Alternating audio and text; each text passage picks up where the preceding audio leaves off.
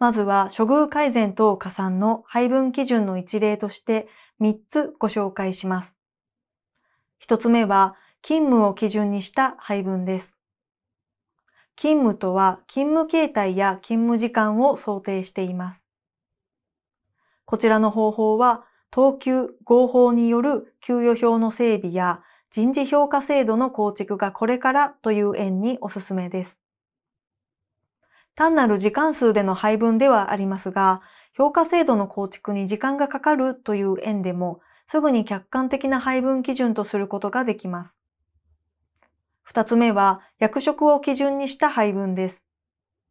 合法、等級によって役職を定めている場合も、こちらの基準を当てはめることができるのではないかと思います。三つ目は、人事評価を基準にした配分です。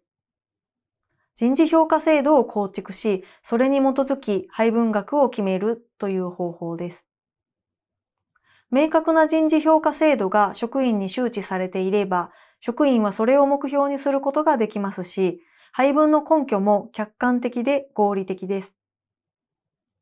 配分額を決定する人の主観で決める方法ですと、恣意的な配分と指摘された時の反論が難しくなるため、例で挙げたように客観的に説明がつく基準で配分することが望ましいです。では、一つずつ詳しく解説していきます。まず一つ目は、勤務を基準に配分する場合です。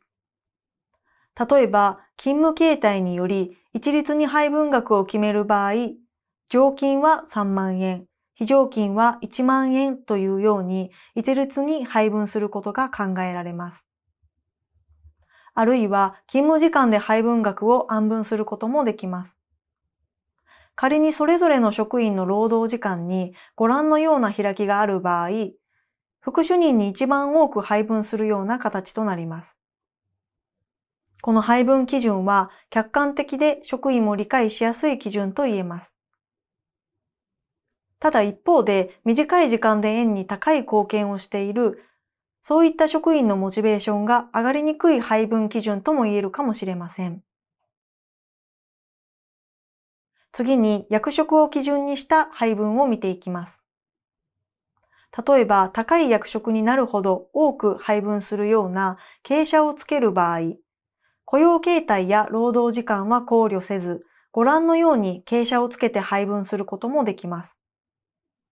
もし、円に等級表が整備されていれば、役職よりも細かい傾斜をつけて配分することもできます。同じ保育士でも1等級の保育士なのか2等級の保育士なのかで配分額に差をつけることができます。最後に人事評価を基準にした配分を見ていきます。